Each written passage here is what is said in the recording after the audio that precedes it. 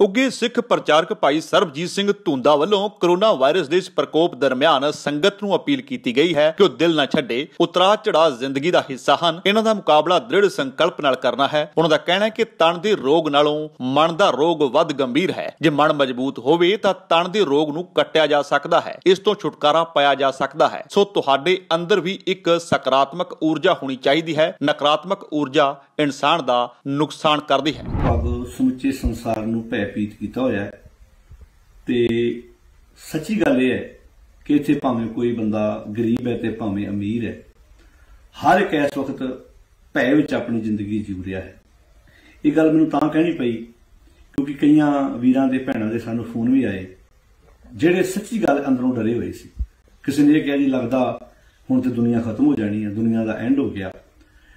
ਇਹ ਗੱਲ ਦਾ ਖਿਆਲ ਰੱਖਿਓ, ਗੁਰਬਾਣੀ ਨੂੰ ਪੜਨ ਵਾਲੇ ਜਿਹੜੇ ਸਮਝਣ ਵਾਲੇ ਸਰੋਤੇ ਬੈਠੇ ਨੇ, ਉਹਨਾਂ ਨੂੰ ਮੇਰੀ ਹੱਥ ਜੋੜ ਕੇ ਬੇਨਤੀ ਹੈ ਕਿ ਤੁਹਾਡੇ ਇਰਦ ਗਿਰਦ ਜਿੰਨੇ ਵੀ ਵਸਦੇ ਨੇ, ਇਹ ਸਮਝਾਉਣ ਦੀ ਜ਼ਰੂਰਤ ਹੈ ਵੀ ਜਿਹੜਾ ਤਨ ਦਾ ਰੋਗ ਹੁੰਦਾ ਨਾ, ਉਹ ਵੀ ਜਦੋਂ ਸਾਡੇ ਤਨ ਨੂੰ ਆਣ ਕੇ ਚਿੰਬੜਦਾ, ਜੇ ਮਨ ਮਜ਼ਬੂਤ ਹੋਵੇ ਤੇ ਤਨ ਦੇ ਰੋਗ ਨੂੰ ਵੀ ਕੱਟ ਸਕਦਾ ਹੈ। ਕਿਉਂਕਿ ਜਦੋਂ ਤੁਸੀਂ ਕਿਸੇ ਡਾਕਟਰ ਦੇ ਕੋਲ ਮੈਡੀਸਨ ਲੈਣ ਜਾਂਦੇ ਆ, ਤੁਸੀਂ ਵੇਖਿਆ ਹੋਵੇਗਾ ਕਈ ਵਾਰੀ ਡਾਕਟਰ ਸਾਨੂੰ ਇਹ ਹੱਸਦਿਆਂ ਸੁਝਾਅ ਦਿੰਦੇ ਨੇ ਵੀ ਮੈਡੀਸਨ ਨੇ ਤਾਂ ਠੀਕ ਕਰਨਾ ਕਰਨਾ, ਪਰ ਤੁਹਾਨੂੰ ਆਪਣੇ ਅੰਦਰ ਵੀ ਇਹ ਪੋਜ਼ਿਟਿਵ ਵਿਚਾਰ ਰੱਖਣੇ ਪੈਣੇ ਵੀ ਮੈਂ ਇਸ ਰੋਗ ਨਾਲ ਲੜ ਸਕਦਾ। ਬਹੁਤ ਵਾਰੀ ਬਿਮਾਰੀ ਸਾਨੂੰ ਘੱਟ ਮਾਰਦੀ ਆ ਤੇ ਅਸੀਂ ਨੈਗੇਟਿਵ ਵਿਚਾਰਾਂ ਦੇ ਨਾਲ ਛੇਤੀ ਮਰਦੇ ਬੜੇ ਬੰਦੇ ਆਪਣੀ ਜ਼ਿੰਦਗੀ 'ਚ ਵੇਖੇ ਜਿਨ੍ਹਾਂ ਨੇ ਆਪਣੀ ਜ਼ਿੰਦਗੀ ਦੇ ਪੋਜ਼ਿਟਿਵ ਵਿਚਾਰ ਰੱਖ ਕੇ ਤੇ ਬਹੁਤ ਭਿਅੰਕਰ ਤੋਂ ਭਿਅੰਕਰ ਬਿਮਾਰੀਆਂ ਦਾ ਵੀ ਮੁਕਾਬਲਾ ਡਟ ਕੇ ਕੀਤਾ। ਬੜੇ ਡਾਕਟਰ ਮੈਂ ਆਪਣੀ ਜ਼ਿੰਦਗੀ 'ਚ ਵੇਖੇ ਜਿਹੜੇ ਮੈਡੀਸਨ ਘੱਟ ਤੇ ਪੋਜ਼ਿਟਿਵ ਵਿਚਾਰਾਂ ਦੇ ਦੇ ਕੇ ਬੰਦੇ ਨੂੰ ਠੀਕ ਕਰਨ ਦਾ ਯਤਨ ਕਰਦੇ ਤੋਂ ਠੀਕ ਹੈ ਜਿਹੜੀ ਕਰੋਨਾ ਦੀ ਇਸ ਵਕਤ ਮਹਾਮਾਰੀ ਸਮੁੱਚੇ ਸੰਸਾਰ ਤੇ ਫੈਲੀ ਹੋਈ ਹੈ ਤੇ ਉਹਦੇ ਕਰਕੇ ਬਹੁਤ ਦੇਸ਼ਾਂ ਵਿੱਚ ਮੌਤਾਂ ਵੀ ਕਾਫੀ ਹੋ ਚੁੱਕੀਆਂ ਨੇ। ਤੋਂ ਖਾਸ ਕਰਕੇ ਸਾਡਾ ਹੱਥ ਜੋੜ ਕੇ ਇਹ ਸੰਗਤਾਂ ਅੱਗੇ ਬੇਨਤੀ ਵੀ ਜ਼ਿੰਦਗੀ 'ਚ ਉਤਰਾਅ ਚੜਾਅ ਆਉਂਦੇ ਨੇ, ਜ਼ਿੰਦਗੀ 'ਚ ਕਦੀ ਵੀ ਦਿਨ ਇੱਕੋ ਜਿਹੇ ਨਹੀਂ ਰਹਿੰਦੇ। ਜ਼ਿੰਦਗੀ 'ਚ ਖੁਸ਼ੀ ਵੀ ਆਉਂਦੀ ਆ, ਗਮ ਵੀ ਆਉਂਦੀ ਆ। ਜੇ ਆਪਾਂ ਇਹ ਕਹਾਂਗੇ ਵੀ ਸਾਨੂੰ ਹਮੇਸ਼ਾ ਖੁਸ਼ੀ ਵਾਲਾ ਹੀ ਮੌਕਾ ਮਿਲੇ, ਘਾਟੇ ਵਾਲਾ ਨਾ ਪਵੇ। ਨਹੀਂ ਭਾਈ ਜ਼ਿੰਦਗੀ ਬੇਸਵਾਦੀ ਹੋ ਜਾਏਗੀ ਜ਼ਿੰਦਗੀ 'ਚ ਮੁਸ਼ਕਲਾਂ ਵੀ ਆਉਣੀਆਂ ਨੇ। ਉਹਨਾਂ ਦਾ ਡਟ ਕੇ ਮੁਕਾਬਲਾ ਵੀ ਸਾਨੂੰ ਕਰਨਾ ਪੈਣਾ ਹੈ। ਤੋ ਖੈਰ ਆਪਣੇ ਮਨ ਨੂੰ ਚੜ੍ਹਦੀ ਕਲਾ ਵਿੱਚ ਰੱਖਣਾ ਵਾ ਨਰਵਸ ਨਹੀਂ ਹੋਣਾ। ਆਪਣੇ ਮਨ ਨੂੰ ਪੋਜ਼ਿਟਿਵ ਵਿਚਾਰਾਂ ਦਿਓ ਚੰਗੀਆਂ ਵਿਚਾਰਾਂ ਦਿਓ। ਜਿਵੇਂ ਬਾਣੀ 'ਚ ਲਿਖਿਆ ਜੋ ਮੰਦਰ ਕੋ ਥਾਮੇ ਥੰਮਣ ਤੇ ਉਹ ਗੁਰਕਾ ਸ਼ਬਦ ਮਨੇ ਅਸਤੰਭਨ। ਹੁਣ ਜਿਹੜੀ ਇਹ ਅਹ, ਕਰੋਨਾ ਨਾਂ ਦੀ ਮਹਾਮਾਰੀ ਸੰਸਾਰ ਤੇ ਫੈਲੀ ਹੈ ਸਾਨੂੰ ਡਾਕਟਰ ਵੀ ਬਾਰ-ਬਾਰ ਪ੍ਰਸ਼ਾਸਨ ਵੱਲੋਂ ਵੀ ਹਦਾਇਤਾਂ ਦਿੱਤੀਆਂ ਜਾ ਰਹੀਆਂ ਵੀ ਇਹਦਾ ਸਭ ਤੋਂ ਵਧੀਆ ਇਲਾਜ ਆ ਵੀ ਅਸੀਂ ਇਹ ਇਤਿਹਾਸ ਵਰਤਦਿਆਂ ਹੋਇਆਂ ਆਪਣੇ ਘਰਾਂ 'ਚ ਰਹੀਏ ਹੱਥ ਧੋਈਏ ਸਾਬਣ ਨਾਲ ਤੇ ਬਾਹਰ ਨਿਕਲਣ ਤੋਂ ਗੁਰੇਜ਼ ਕਰੀਏ ਵੀ ਜੇ ਸਾਨੂੰ ਉਹ ਘਰਾਂ 'ਚ ਰਹਿਣ ਵਾਸਤੇ ਬਾਰ-ਬਾਰ ਹਦਾਇਤਾਂ ਦੇ ਰਹੇ ਨੇ ਕਿ ਤੁਸੀਂ ਲੋਕਡਾਊਨ ਭਾਵ ਕਰਫਿਊ ਅੰਦਰ ਰਹੋ, ਬਾਹਰ ਨਾ ਜਾਓ ਕਿਉਂਕਿ ਤੁਸੀਂ ਇਸ ਬਿਮਾਰੀ ਨੂੰ ਆਪ ਘਰ ਲੈ ਕੇ ਆਓਗੇ, ਆਪਣੇ ਆਪ ਨਹੀਂ ਆਉਣੀ ਤੋਂ ਇਹਦਾ ਅਰਥ ਵਾ ਵੀ ਉਹਨੂੰ ਲੱਗ ਰਿਹਾ ਵੀ ਸਾਡੇ ਕੋਲ ਦਾ ਇਲਾਜ ਜੇ ਨਹੀਂ ਹੈਗਾ, ਇਹਦਾ ਇਲਾਜ ਪਰਹੇਜ਼ ਆ। ਡਾਕਟਰ ਵੀ ਕਹਿੰਦੇ ਵੀ ਜੇ ਤੁਸੀਂ ਸਾਡਾ ਭਲਾ ਕਰਨਾ ਚਾਹੁੰਦੇ ਹੋ, ਜੇ ਤੁਸੀਂ ਸਾਡੀ ਸਪੋਰਟ 'ਚ ਖਲੋਣਾ ਚਾਹੁੰਦੇ ਹੋ, ਤੇ ਸਪੋਰਟ ਇਹੋ ਹੀ ਆ ਵੀ ਤੁਸੀਂ ਆਪਣੇ ਪਰਿਵਾਰਾਂ 'ਚ ਰਹੋ, ਵੀ ਜਿਨ੍ਹਾਂ ਨਾਲ ਅਸੀਂ ਇਲਾਜ ਕਰ ਰਹੇ ਹਾਂ, ਤੁਸੀਂ ਮਰੀਜ਼ਾਂ ਦੀ ਗਿਣਤੀ ਨਾ ਵਧਾਓ। ਸ਼ਾਇਦ ਸਾਨੂੰ ਇਹ ਗੱਲ ਸਮਝ ਨਹੀਂ ਆ ਰਹੀ। ਬਾਰ-ਬਾਰ ਫਿਰ ਵੀ ਵੇਖੋ, ਸਾਨੂੰ ਕਦੀ ਤੇ ਪੁਲਿਸ ਵਾਲੇ ਜਾ ਕੇ ਰੋਕ ਰਹੇ ਨੇ। ਕਦੀ ਉਹਨਾਂ ਨੂੰ ਸੀਆਰਪੀ ਆਰਮੀ ਲਾਉਣੀ ਪੈ ਰਹੀ ਹੈ। ਕਿਉਂ? ਇਦਾਂ ਦੇ ਦਿਨ ਕਿਉਂ? ਕਿਉਂਕਿ ਇਹਦਾ ਅਰਥ ਵੀ ਅਸੀਂ ਸਿੱਧੀ ਭਾਸ਼ਾ ਨਹੀਂ ਸਮਝ ਰਹੇ। ਤੋ ਹੱਥ ਜੋੜ ਕੇ ਬੇਨਤੀ ਆ ਵੀ ਅਸੀਂ ਇਸ ਗੱਲ ਨੂੰ ਸਮਝੀਏ, ਇੱਕ ਮਨ ਨੂੰ ਚੜ੍ਹਦੀ ਕਲਾ ਵਿੱਚ ਰੱਖੀਏ। ਇਹ ਮੈਂ ਤਾਂ ਅੱਜ ਵੀਡੀਓ ਮੈਨੂੰ ਬਣਾਉਣੀ ਪਈ। ਕਈਆਂ ਵੀਰਾਂ ਭੈਣਾਂ ਦੇ ਸਾਨੂੰ ਵੀ ਫੋਨ ਆਏ ਆ ਵੀ ਇਹ ਦੁਨੀਆ ਮੁੱਕ ਜਾਏਗੀ, ਹੁਣ ਦੁਨੀਆ ਖਤਮ ਹੋ ਜਾਏਗੀ, ਬਸ ਹੁਣ ਖਤਮ ਹੋ ਜਾਊਗਾ। ਨਹੀਂ ਭਾਈ, ਇਹੋ ਜੀ ਕੋਈ ਗੱਲ ਨਹੀਂ। ਇਹ, ਇਸ ਕਰੋਨਾ ਵਾਇਰਸ ਦੀ ਮਹਾਮਾਰੀ ਨੇ ਇੱਕ ਸਮਾਜ ਨੂੰ ਬੜੀ ਵੱਡੀ ਸਿੱਖਿਆ ਵੀ ਦੇ ਦਿੱਤੀ। ਇੱਥੇ ਗਰੀਬ ਅਮੀਰ, ਤੁਸੀਂ ਵੇਖਿਆ ਹੋਵੇਗਾ ਵੀ ਜਿਹੜਾ ਬਹੁਤ ਮਾਇਆਧਾਰੀ, ਜਿਹਦੇ ਕੋ ਅੱਤ ਦਾ ਪੈਸਾ ਸੀ ਸਗੋਂ ਉਹ ਨਰਵਸ ਹੋ ਕੇ ਬੈਠਾ। ਜਿਹਦੇ ਕੋ ਹੈ ਹੀ ਕੱਖ ਨਹੀਂ ਦਿਹਾੜੀ ਕਰਕੇ ਖਾਣ ਵਾਲਾ ਬੰਦਾ, ਉਹ ਸਵੇਰੇ ਜਾਂਦਾ ਸ਼ਾਮਾਂ ਨੂੰ ਘਰ। ਉਹ ਉਹ ਕਈ ਵਾਰੀ ਹੱਸ ਰਿਹਾ, ਖੇਡ ਰਿਹਾ। ਤੋ ਇਹ ਗੱਲ ਨੂੰ ਸਮਝਣਾ ਪੈਣਾ ਇੱਥੇ ਸਗੋਂ ਕੰਮ ਉਲਟਾ ਹੋ ਗਿਆ। ਹੁਣ ਜਦੋਂ ਕੋਈ ਚਾਰ ਪੈਸੇ ਸੀ, ਉਹ ਆਪਣੇ ਕੰਮ ਵਾਲੇ ਨੂੰ ਕਹਿ ਰਿਹਾ, ਭਾਈ, ਬਾਰ-ਬਾਰ ਹੱਥ ਧੋਈ ਨਹਾਈ ਧੋਈ ਕਿਤੇ ਨਾ ਹੋਵੇ ਵੀ ਤੂੰ ਮੇਰੇ ਘਰ ਬਿਮਾਰੀ ਲੈ ਕੇ ਆ ਜਾਏ ਤੋ ਇਹ ਗੱਲ ਸਮਝ ਲੈਣਾ।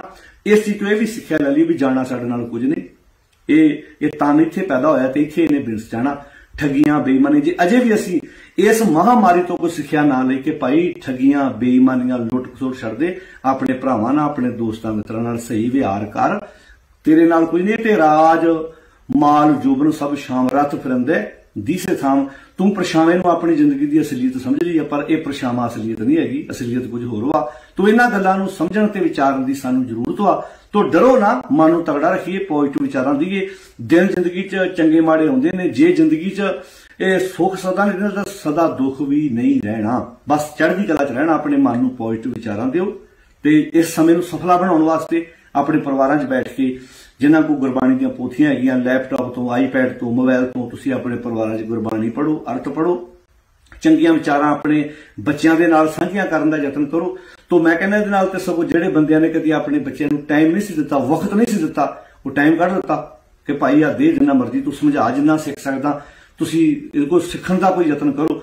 ਤੋ ਆਓ, ਵਾਪਸ ਪਰਤੀਏ ਆਪਾਂ, ਗੁਰਬਾਣੀ ਦੀ ਵਿਚਾਰ ਨੂੰ ਆਪਣੀ ਜ਼ਿੰਦਗੀ ਦਾ ਆਧਾਰ ਬਣਾਈਏ। ਇਹ ਸਮਾਂ ਜ਼ਿੰਦਗੀ 'ਚ, ਆਪਣਾ ਸਮਾਂ ਪਾ ਕੇ ਟਲ ਜਾਏਗਾ, ਦੁੱਖ ਸੁੱਖ ਜ਼ਿੰਦਗੀ 'ਚ ਆਉਂਦੇ ਨੇ।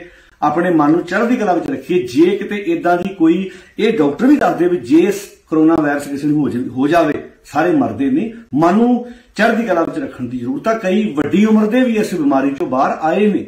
ਮੈਂ ਇਟਲੀ ਦੀ ਖਬਰ ਪੜ੍ਹ ਰਿਹਾ ਸੀ ਉੱਥੇ 90 ਸਾਲ ਦੀ ਮਾਤਾ ਵੀ ਪਹਿਲਾਂ ਪੋਜ਼ਿਟਿਵ ਆਈ, ਮੁੜ ਕੇ 네ਗੇਟਿਵ ਉਹਦੇ ਵਿੱਚ ਜਿਹੜੀ ਅਗਲੀ ਰਿਪੋਰਟ ਆਈ ਹੈ। ਤੇ ਜੇ ਵੱਡੀ ਉਮਰ ਦੇ ਵਿਅਕਤੀ ਵੀ ਇਸ ਬਿਮਾਰੀ ਦੇ ਨਾਲ ਜੂਝ ਰਹੇ ਨੇ, ਤੋਂ ਲੜ ਰਹੇ ਨੇ, ਤੇ ਲੜ ਕੇ ਉਹਨੂੰ ਜਿੱਤ ਪ੍ਰਾਪਤ ਕੀਤੀ ਆ। ਤੇ ਆਪਣੇ ਮਨ ਨੂੰ ਚੜ੍ਹਦੀ ਕਲਾ 'ਚ ਰੱਖੀਏ, ਢੈਂਦੀ ਕਲਾ ਵਿੱਚ ਨਾ ਜਾਣ ਦਈਏ। ਮੇਰੀ ਹੱਥ ਜੋੜ ਕੇ ਬੇਨਤੀ ਆ, ਆਪਣੇ ਮਨ ਨੂੰ ਮਜ਼ਬੂਤ ਕਰੀਏ।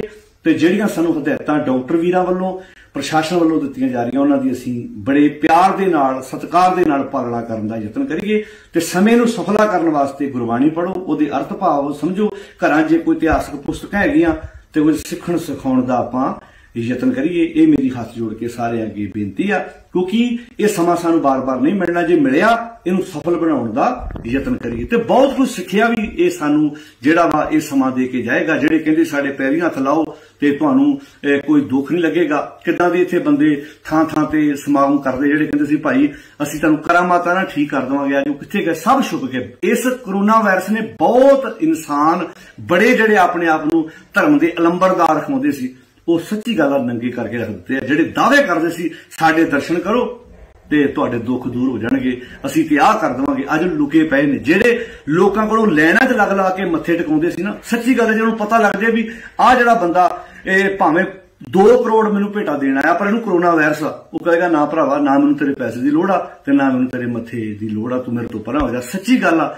ਬਹੁਤ ਕੁਝ ਇਹਨੇ ਸਿਖਾ ਦੇਣਾ ਕਿ ਭਾਈ, ਅਜੇ ਵੀ ਸਮਝ ਜਾਓ ਕਿਸੇ ਕੋਲ ਇਹਨਾਂ ਦਾ ਇਲਾਜ ਨਹੀਂ ਹੈਗਾ, ਇਲਾਜ ਤੁਹਾਡੇ ਆਪਣੇ ਕੋਲ ਮਨ ਨੂੰ ਚੜ੍ਹਦੀ ਕਲਾ 'ਚ ਰੱਖੋ, ਬਾਣੀ ਸਮਝੋ ਪੜੋ ਵਿਚਾਰੋ ਤੇ ਗੁਰੂ ਦੀ ਬਾਣੀ ਮੁਤਾਬਕ ਆਪਣੀ ਜ਼ਿੰਦਗੀ ਜਿਉਣ ਦਾ ਯਤਨ ਕਰੀਏ ਤੇ ਆਪਣੇ ਮਨ ਨੂੰ ਪੋਜ਼ਿਟਿਵ ਵਿਚਾਰਾਂ ਦਈਏ ਤਾਂ ਕਿ ਅਸੀਂ ਆਪਣੇ ਮਨ ਨੂੰ ਤਗੜਾ ਕਰਕੇ ਇਸ ਬਿਮਾਰੀ ਨਾਲ ਜੂਝ ਸਕੀਏ ਜਿਹੜਾ ਸਮਾਂ ਆਇਆ, ਇਹਨੂੰ ਆਪਾਂ ਆਪਣੀ ਜ਼ਿੰਦਗੀ ਦੇ ਵਿੱਚ ਇਹ ਸਮੇਂ ਆਉਂਦੇ ਰਹਿੰਦੇ ਨੇ, ਪਹਿਲਾਂ ਵੀ ਆਏ ਨੇ, ਸਮੇਂ ਟਲ ਜਾਣੇ ਨੇ, ਪਰ ਮਨ ਨੂੰ ਢੈਂਦੀ ਕਲਾ ਵਿੱਚ ਨਹੀਂ ਲੈ ਕੇ ਜਾਣਾ, ਮਨ ਨੂੰ ਚੜ੍ਹਦੀ ਕਲਾ ਵਿੱਚ ਰੱਖਣਾ। ਵਾਹਿਗੁਰੂ ਜੀ ਕਾ ਖਾਲਸਾ, ਵਾਹਿਗੁਰੂ ਜੀ ਕੀ ਫਤਿਹ ਜੇਕਰ ਤੁਹਾਨੂੰ ਸਾਡਾ ਇਹ ਉਪਰਾਲਾ ਚੰਗਾ ਲੱਗਾ ਹੈ, ਤਾਂ ਇਸ ਨੂੰ ਲਾਈਕ ਕਰੋ ਸ਼ੇਅਰ ਕਰੋ ਅਤੇ ਸਾਡੇ YouTube ਚੈਨਲ ਨੂੰ ਸਬਸਕ੍ਰਾਈਬ ਕਰੋ।